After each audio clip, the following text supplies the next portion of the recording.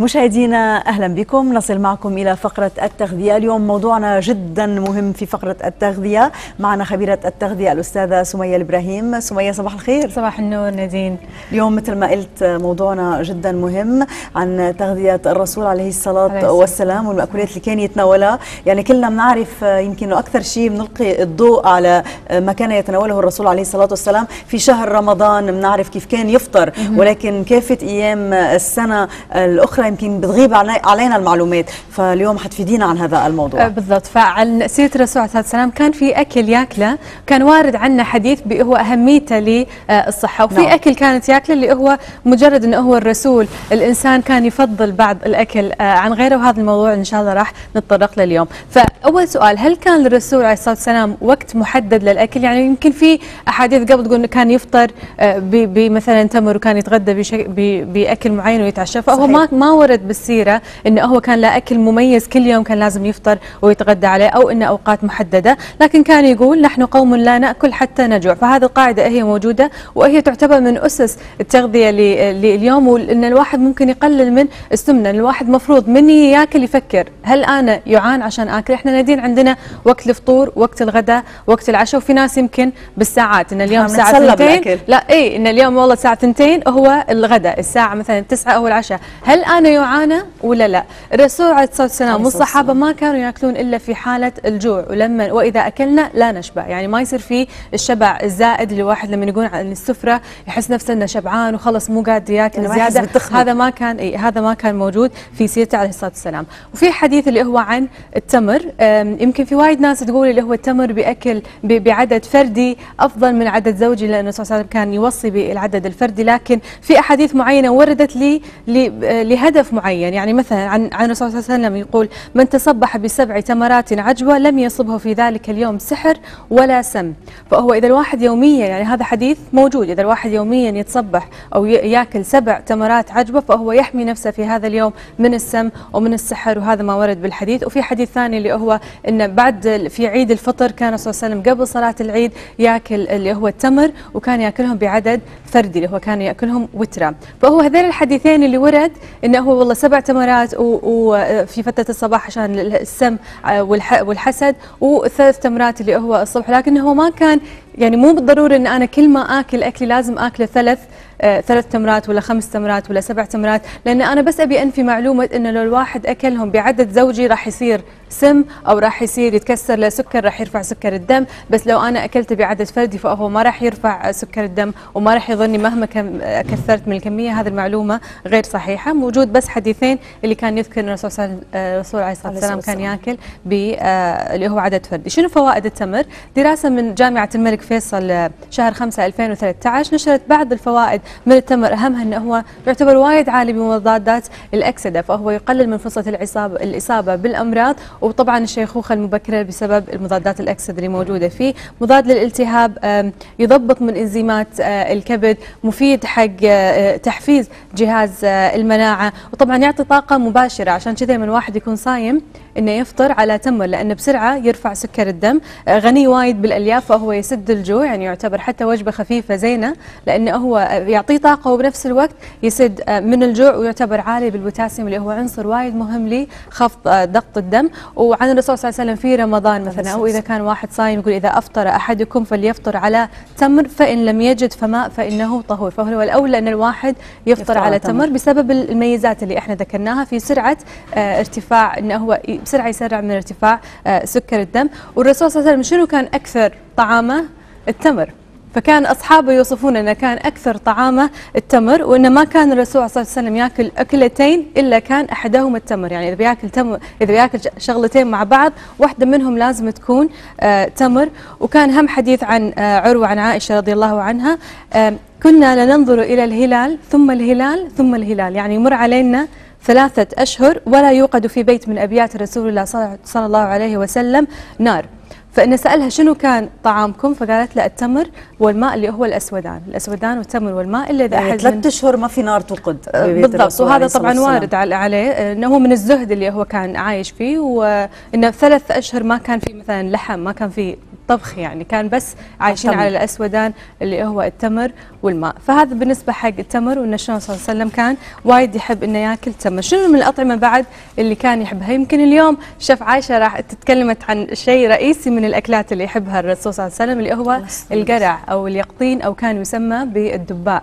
فهذه شغلة وايد مشهورة عن الرسول صلى الله عليه وسلم إنه كان يحب القرع وكان يتتبعه من الإناء. يعني لما يحطون صحن فيه آه مثلا آه خضار ولا اللي هو الثريد اللي كان اليوم يسمى تشريبة كان يحب ياكل الثريد وكان يقول فضل عائشة على الطعام كفضل فضل الثريد على سائر الأطعمة من حبه آه للثريد اللي هو الثريد يكون اللي هو كسرة خبز مع ماي اللحم وممكن كان يكون فيه قرع. فكان يتتبع القرع من الأكل وكان خادم الرسول عليه الصلاة والسلام أنس بن مالك كان يقول كنت أحب الدباء لحب النبي للدباء يعني أنا قمت أحب القرع من كثر ما أشوف الرسول عليه الصلاة والسلام يحب القرع. شنو فوائد القرع.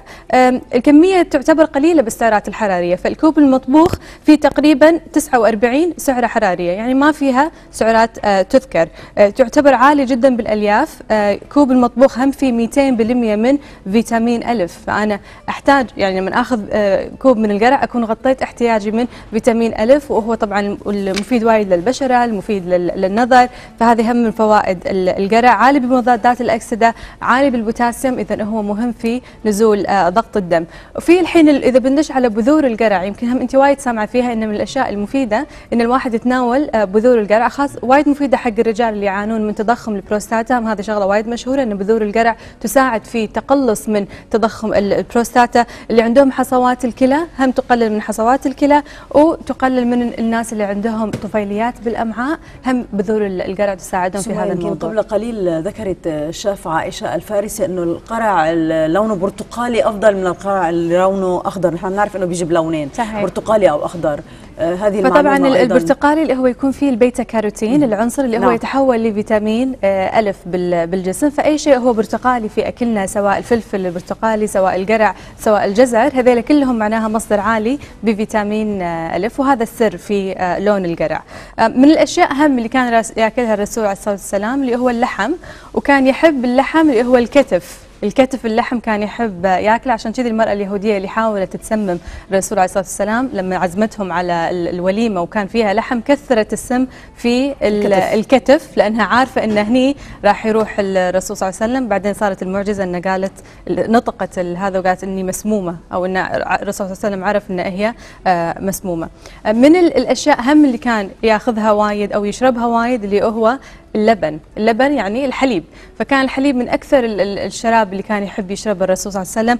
وكان دائما لما يأكل أي أكل عليه الصلاة والسلام كان بعد ما يأكل يقول اللهم بارك لنا فيه وأبدلنا خيرا منه. هذا حق كل الأكل. إلا لما كان يشرب حليب. كان يقول اللهم بارك لنا فيه وزدنا منه فإنا لا نعلم ما يجزأ من الطعام والشراب غيره. فكان كأنه لا حالة خاصة الحليب عن آه، سائر الأطعمة اللي كان يتناولها الرسول عليه الصلاة والسلام. وكانوا يأكلون هم أيامها والرسول صلى الله عليه وسلم هم كان يأكل اللي هو اللي نسميه إحنا الإقط أو الجميد اللي هو الحليب المجفف المملح يضيفون له ملح ويجففونه تحت الشمس. وكانوا يسوون منه الشغلة هذه أشكر الشيف عايشة جايبت لي إياها.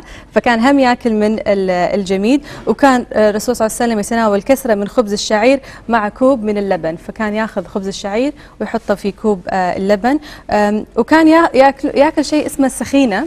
اللي هو آه، أكلة آه، فيها عبارة عن مثل شوربة مكونة من اللبن الرائب موجود ممزوجة بالدقيق والملح. هذه الأكلة هم كان يحبها الرسول صلى الله عليه وسلم كان يأكلها اللي هو تكوين وملح. بالضبط اللي هو التكوين الرئيسي منها. لو تشوفين نادين الأكل كان بسيط يعني أكلهم كان بسيط. ما تحسين إنه إحنا قاعد نتكلم عن خليفة المسلمين أيامها وآخر المرسلين. كان في تواضع حتى في آه، أكلة ما كان ما كان فيها أي يعني فرق بينه وبين آه، أصحابه.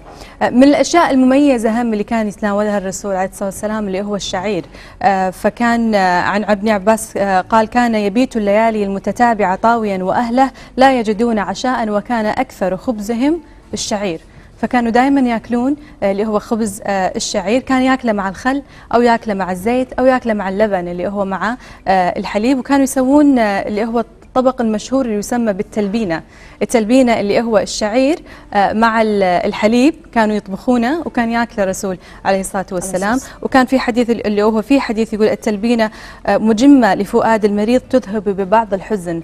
فالناس اللي كان فيهم مثلا اللي فيهم كآبة اللي فيهم حزن شعور بالسعادة. شعور بالسعادة فكانوا يأكلون التلبينة اللي هي وجود والسبب. شو اللي بيساعد؟ علميا شو اللي بيساعد إنه يعطي الشعور بالسعادة؟ هو أي وجود هو السر بالشعير مو باللبن السر بالشعير انه هو يقوي من الخلايا الخلايا العصبية في لها مثل وصلات عصبية يقوي من الوصلات العصبية فالحزن أو الكآبة تسوي خلل في الموضوع هذا الموضوع اللي هو الوصلات العصبية. فوجود الشعير يحسن من الشغلة هذه وزائد أنها ذكرت في حديث.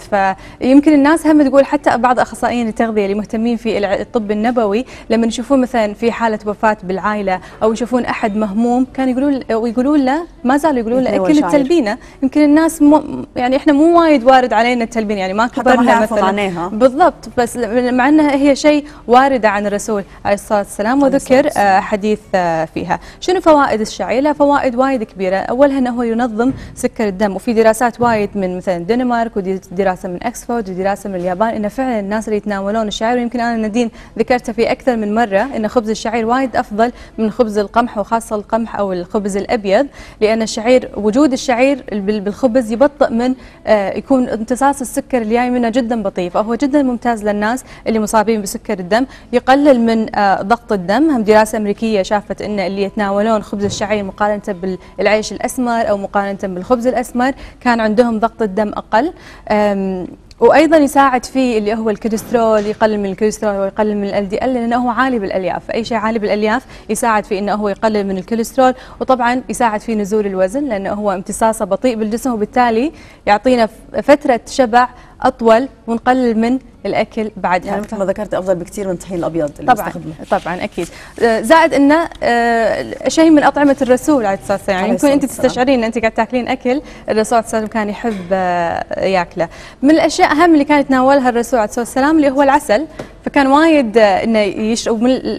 حتى المشروبات اللي كان يشربها مو بس كان يشرب الحليب كان يشرب الحليب كان يشرب العسل شراب العسل كان يشرب النبيذ اللي هو مسوينه من الشعير أهم عليه الصلاة والسلام. شنو فوائد العسل طبعا مضاد للبكتيريا مضاد للفيروسات ويقلل من الكحة. يمكن إحنا نشوف حتى ندين الأطفال اللي عندهم كحة آه، نسوي لهم اللي هو عسل مع ماي حار ونشربهم إياه وهذا مثبت علميا أنه يقلل من آه، الكحة. وهم عن الرسول صلى الله عليه وسلم يقول الشفاء في ثلاثة من بينهم شربة عسل. فالعسل مذكور أنه هو من بعض الأمور اللي تساعد في آه، الشفاء. ومثل ما ذكرنا الكحة اللي هو جدا واردة في حتى ينصح مرضى الربو بتناول العسل. بالضبط أكيد. طبعا العسل هم ممتاز حق الرياضيين اللي هو بعد الرياضة عشان بسرعة يرفع سكر الدم عنده. عالي مضادات الأكسدة يقوي من المناعة والأفضل إن إحنا نحاول نستبدل العسل آه، أو إن نستبدل السكر بالعسل. فانا نستخدم العسل لتحلية الطبق اللي إحنا بنسويه بدل ما نستخدم آه، السكر من الأمور هم اللي كان يتناولها الرسول عليه الصلاة والسلام اللي هو زيت الزيتون.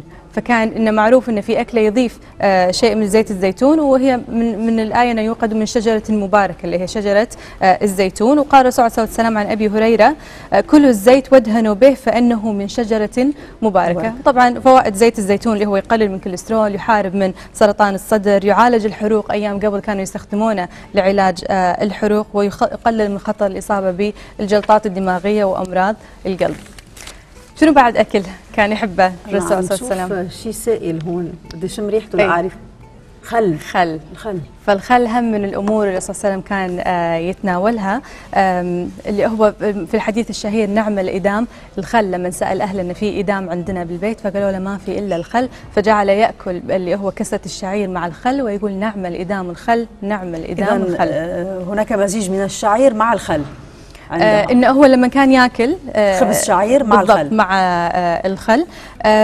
شو فوائد الخل؟ شنو فوائد الخل؟ فوائد الخل إنه يعالج الالتهابات البكتيرية وخاصة اللي تسبب آه الإسهال، فالأشخاص اللي عندهم إسهال ممكن يساعدون يضيفون الخل في أكلهم، آه مسد للشهية يمكن حتى مرة ذكرنا نعم. ان خل التفاح يساعد إنه هو يقلل من آه الشهية. أنا معلي إذا بيسمح لي أبو عادل يمكن دركنا الوقت ولكن في مأكولات مشاهدينا أو أطعمة وضعتها سمية عند جلوسنا جانبا وقالت لم يكن يتناولها الرسول خلينا نشوف البصل والثوم صحيح سمية. فالبصل والثوم هي من الأمور يعني من الأشياء اللي ما كان يتناولها الرسول صلى الله عليه وسلم آه اللي هو البصل والثوم وكان له سبب خاص فيه انه مر عن الرسول أهدي للرسول طعاما طبخ فيه الثوم ولما عرف أن فيه الثوم أعطاه لي أبو أيوب الأنصاري فرد عليه قال له يا رسول الله انه يعني عفته وأعطيتني إياه فرد عليه قال له آه إني أناجي من لا تناجي. يعني أنا ينزل علي الوحي فما أحب أن تكون في شيء من ريحي فيها البصل أو الثوم فكان هذا شيء استثناء للرسول صلى الله عليه وسلم. ما يدعي أن إحنا ما ناكله بالعكس إحنا كلنا عارفين فوائد البصل والثوم لكن هذه حالة استثنائية للرسول عليه الصلاة والسلام خارجة عن الرسول الإنسان اللي كان يحب ياكل الأكل اللي إحنا ذكرناه. سمية أنا بشكرك على كل هذه المعلومات اللي أكيد أفادت السادة المشاهدين. والآن سننتقل طبعا إلى الشيف عائشة الفارسي وزميلنا عبد العزيز. شيف عائشة الفارسي اليوم أكلتها باليقطين. شيف عائشة معك الكاميرا.